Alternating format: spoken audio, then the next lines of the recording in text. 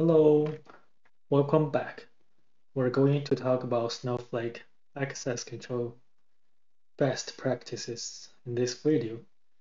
Um, a couple of days ago, uh, I was tasked to create two separate roles in our uh, Snowflake instance. One is the uh, reader role, and then the other is the writer role. So it ends up pretty complicated. Um, I didn't like the way I did it, so I went and look for better ways how to implement these uh, roles. So this is the the roles I um, end up with, and um, here are some uh, reference materials for you to to read if you wanted to look at it. Um, basically, there's three main things uh, in here. Um, what you need to do is uh, create for each database. You're going to create a database owner role to have a full access to the database. All right. And the second thing, you're always going to need to have the reader role too. So, and you create that reader role separately that basically has all the read permissions on all the database objects inside of this database. Okay. And then also in the end, you wanted to make sure that you assign these basic, basic level roles into higher level roles. Basically, the reader role will be assigned to uh, owner role. And then all these owner roles will be assigned to system admin roles. In that, in that case, system admin role will basically have uh, access to all these database databases. Okay, so now I'm going to basically run through these scripts. And there are three main piece of scripts I'm going to run through and, and talk about each line by line. Okay. So I have a snowflake instances here. Let's go to the first section here. So first we're going to create a, two roles, the reader role and the monitor role. So the monitor will have monitor execution and monitor usage on this account. And then reader all, reader all role will be assigned to monitor all. Okay, let's run this. This all run fine. And then we're gonna create the uh, owner role for the database. And we're gonna assign the execute task to this owner role. Okay, you can refer to Trevor's code why he preferred this way. I think this is okay to be on uh, onto the system admin role too. Um, but let's leave this as is.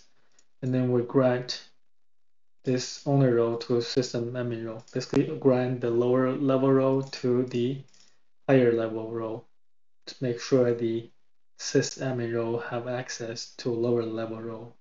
Okay, let's do run this. Okay, these are all completed. Now let's create database db1 and then this is what very important to grant the ownership for database one to owner db1 owner db role okay so now let's do that okay so now let's create the reader role here and then we're gonna grant the warehouse usage and monitor to this reader role. Okay. So let's run this and then we're gonna we're going to grant reader role to owner. So basically this reader role will be granted to owner role here. Okay. And then and then we're gonna uh, also grant the reader role to the reader all role, right? So you can see this compute warehouse is also granted to both of the owner and read all, right? So you can see this simplify the scripts when you using hierarchy to assign lower level role to higher level role. Now this is the complicated parts that you going uh, for uh, read only role that you need to assign all all these objects permissions to the reader role.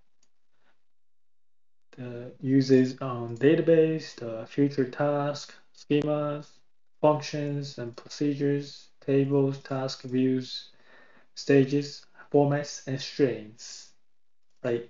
So as you can see, these are all future functions, future future objects.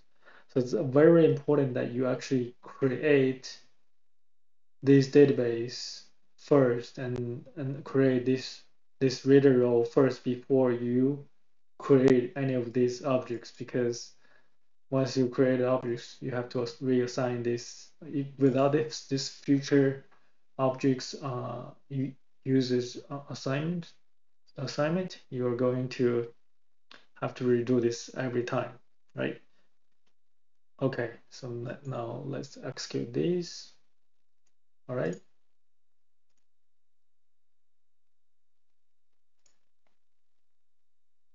now the next step is to create the temporary database which is for temporary tables so this is a limitation with uh, Snowflake 2 for temporary databases, temporary tables that uh, you need to have a create table row, create table permission on that schema in order to create temporary table.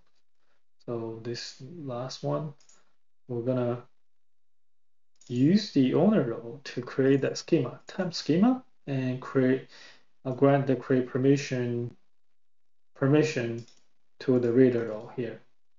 Now it's very important you um, use the owner role to create this schema in objects, right? So it's very important that you actually use this uh, owner owner role to do it. So only owner owner role should and can create objects in the database in these databases to simplify access control because for example, sysadmin role could you could use this one to create objects in the database, but then this owner db1 does not actually own it, so you may not even be able to see it or drop it. So that causes many problems. Because of that, you um, use the owner role create these objects over here. Okay, so that's what this is, right? I think we've done this already. Okay. Now, these are the cleanup scripts. I will post this in GitHub and thanks to um, Travis Code and uh, provided this example. I'm just uh, summarizing it over here in the video for you. And uh, I will also post this um, old diagram to you so you can use it uh, for your own need if you need to uh, use this for your architecture or Snowflake uh, documentation. All right. Thank you very much.